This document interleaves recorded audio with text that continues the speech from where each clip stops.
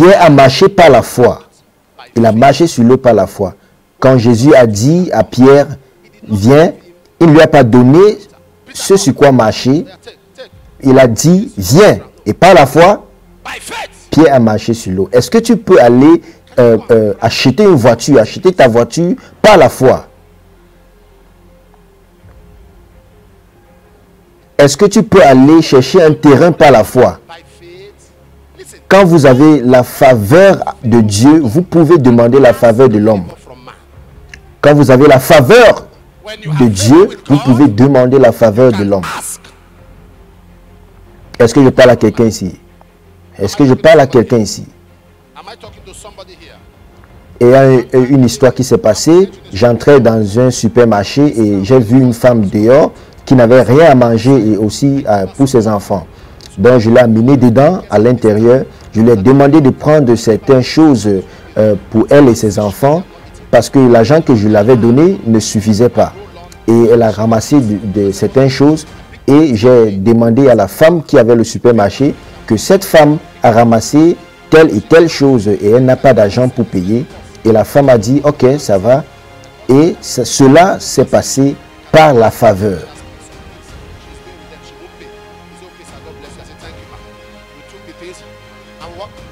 Il y a la puissance quand vous avez la faveur de l'homme. Quelqu'un dit la foi, l'action. La foi, l'action.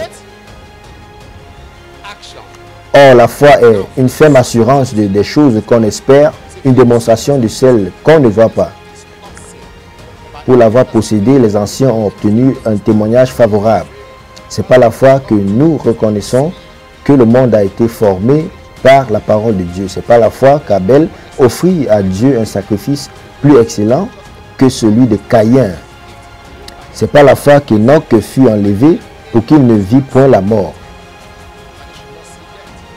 Or, sans la foi, il est impossible de lui être agréable, car il faut que celui qui s'approche de Dieu croit que Dieu existe.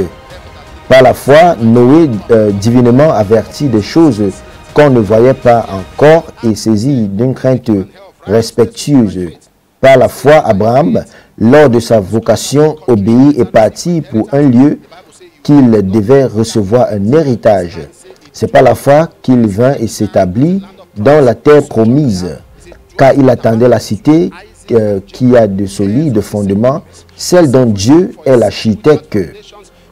C'est pas la foi que Sarah elle-même, malgré son âge avancé, fut rendue capable d'avoir une postérité. C'est pourquoi d'un seul homme déjà usé du corps naquit une prospérité nombreuse comme les étoiles du ciel. C'est pas la foi, c'est dans la foi qu'ils sont tous morts sans avoir obtenu les choses promises. Ceux qui parlent ainsi montrent qu'ils cherchent une patrie s'il avait eu euh, en vue celle d'où il était sorti. Mais maintenant, il est désiré d'une meilleure, c'est-à-dire une céleste. C'est pourquoi Dieu n'a pas honte d'appeler leur Dieu. C'est pas la foi qu'Abraham offrit Isaac et à qui il avait été dit en Isaac sera nommé pour, tous, pour, pour toi une postérité. Même si c'est 20 000, 50 000, cherchez euh, un plan de construction, cherchez l'architecte, cherchez le plan de votre maison. Dessinez-le par la foi. Par la foi.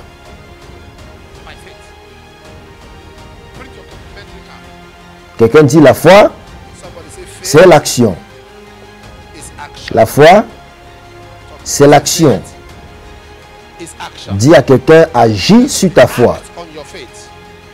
Dis à quelqu'un, agis sur ta foi. Dis la foi. La foi, c'est l'action. Et comme Pierre marchait sur l'eau, il a enlevé ses yeux, ôté ses yeux vers son objectif et il a commencé à se noyer. Pierre marchait sur l'eau parce qu'il regardait Jésus.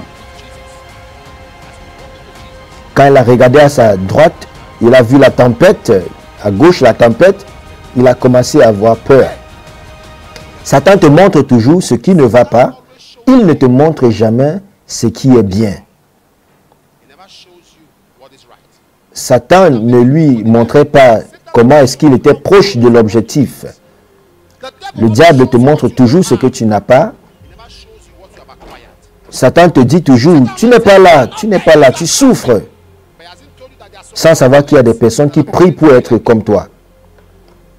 Il y a certaines personnes qui te regardent et qui disent comment est-ce que cet homme est comme ça?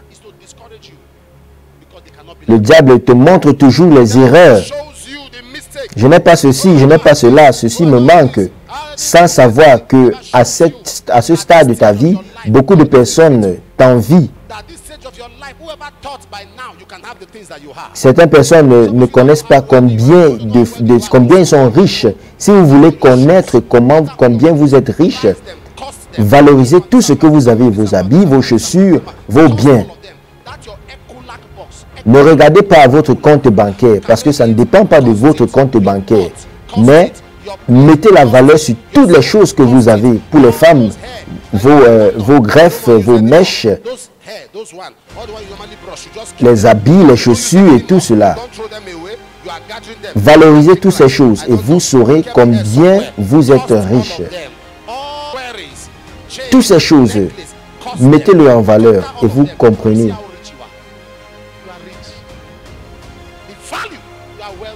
Ne regardez pas votre compte bancaire. Ce qui est dans votre compte ne peut pas euh, refléter la quantité de votre prospérité actuelle.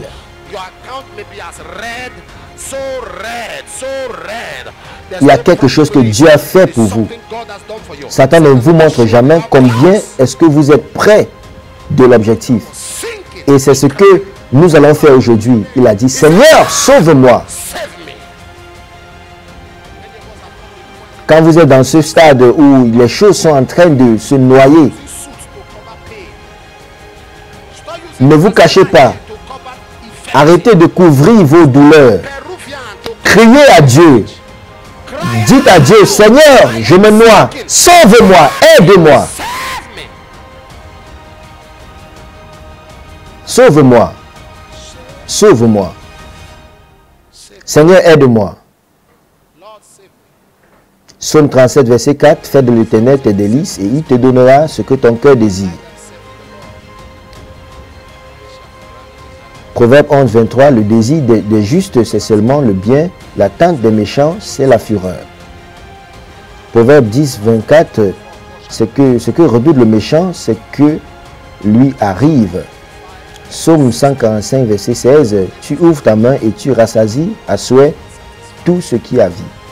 Psaume 145, verset 19, il accomplit les désirs de ceux qui le craignent.